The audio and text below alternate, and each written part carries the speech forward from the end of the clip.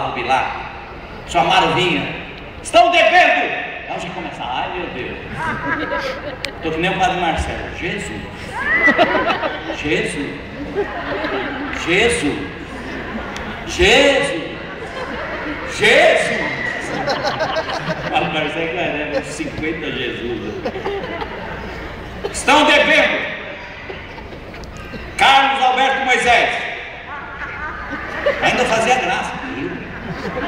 Eu ia assim, sair da classe para a diretoria. Que, que falta de. Né? Sabe, e eu no meio das carteiras, é mentira, meu pai pagou, ele, eles não deram baixa. E nada, estava tudo atrasado mesmo. Estava atrasado mesmo.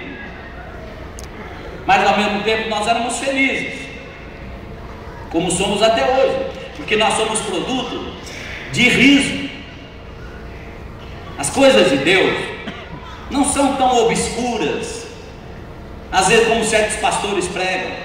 O nosso Deus não é imbecil, não é um carrasco, não é feio. Vai lá, vai levar. Vai levar. Toma, Beto. Toma, Beto. Levanta, Beto. Toma, Beto. É só o Beto, coitado. Não, quando você erra, ele vai te carregar no colo. Pode, crer o que eu estou falando. Só se você conhece um Deus que não é o Deus da Bíblia. Eu senti muitas vezes a presença de Deus quando eu estava no bagaço. É bagaço vezes bagaço vezes mil. Aí você vem, a presença de Deus se enche. Você fala, ah, não é possível, por que, que o senhor gosta de mim? Não interessa, eu gosto de você. Esse é o Deus da Bíblia que se fez algumas coisas meio drásticas, como a gente vê no Velho Testamento, é porque havia necessidade, irmão, de exterminar aquela raça. Você imagina se deixasse vir aquele tipo de sociedade até hoje, que punha filho no fogo, que punha filho na parede e matava.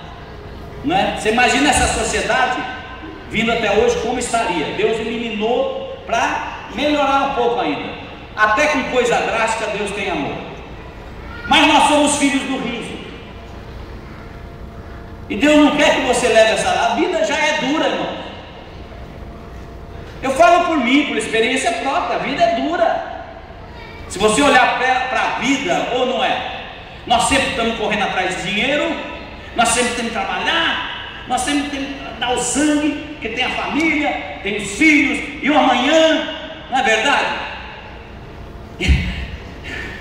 E aí você pensa no versículo, que, que o Senhor disse assim? Eu vim trazer vida, vida em abundância.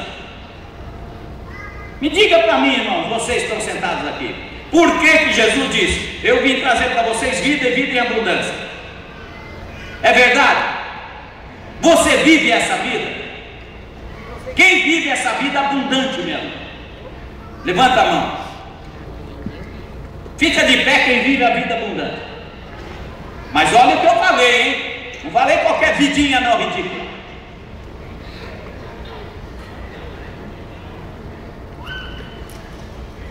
Fiquem de pé. Não é para você aparecer, não. Quero que você fale com. Eu gosto de crente que fala a verdade. Eu vim para que tenham vida e a tenham com abundância. Dá uma olhada para trás. Vocês estão aqui na frente. Não está decepcionado, Evaristo? Jesus não, não se decepcionaria aqui hoje? Eu sou Jesus aqui, estou vendo vocês. O quê? Não tem nem 5%, nem 3% estão de pé. É os que vivem a vida, a mudança que eu falei. Será que eu falei em vão? Eu, como Jesus, me decepcionaria. Sinceramente, gente. Porque é uma palavra que não devia existir. Eu acho que eu vou rasgar agora. Não, eu vou rasgar, não. Eu vou rasgar em nome de Jesus aqui. Minha Bíblia. Eu vou rasgar. E não estou falando isso por brincadeira. Fique de pé. Vive a vida abundante, quero ver bem. Vou marcar as pessoas que vivem abundantemente. É com elas que eu vou encostar. É nelas. Porque Jesus falou isso por quê e para quê? Ele não falou, pode ficar em pé os cheios da alegria. Não falou da eternidade. Não falou que é na eternidade. Porque na eternidade, nem de Bíblia eu vou precisar. Está falando aqui nesta vida que nós temos dificuldades, que nós temos barreiras, matando um leão a cada dia. É aqui que ele falou: você não ter vida e vida em abundância. Agora eu olho e vou falar sinceramente agora, aos que estão assentados: você precisa orar. Você precisa orar. Você precisa falar com Deus. Vocês precisam falar com Deus. Tem alguma coisa errada. Vocês precisam chegar próximo de Deus, ler mais a Bíblia, conhecer o Deus da Bíblia. E orar e jejuar e pedir perdão pelo que vocês fizeram hoje. De não levantar diante desse versículo, dessa palavra. Vocês estão sendo sinceros. Eu gosto dessa parte. Pelo menos vocês estão sendo sinceros. Mas eu me decepcionaria sendo Jesus. Pode sentar.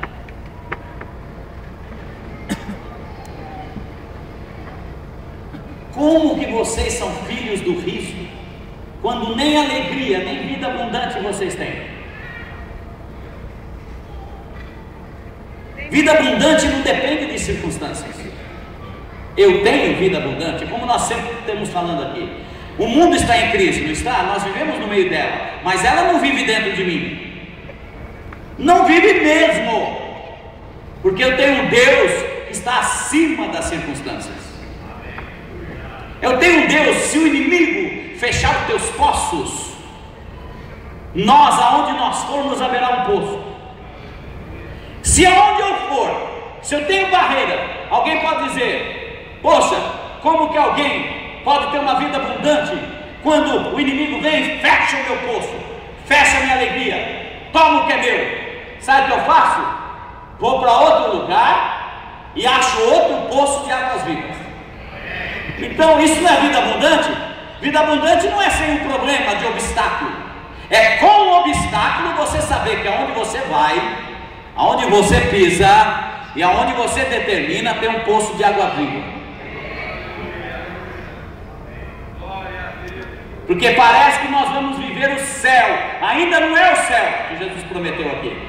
Ele falou vida em abundância, mas tem barreiras, tem mortes, tem desafios. Mas aonde eu pisar, um poço eu vou achar. Irmão, Deus mandou Isaac rodear em Gerar, na cidade de Gerar, na região de Gerar. Como eu falei um dia, o lugar mais seguro do mundo, sabe onde é? O lugar mais seguro do mundo é dentro da vontade de Deus. Se a vontade de Deus é dar para você vida em abundância, tem alguma coisa errada se você não sente e não vive essa vida. Passa 100 anos, eu vejo meus membros às vezes dizer: que é vida abundante, Carlos? Olha,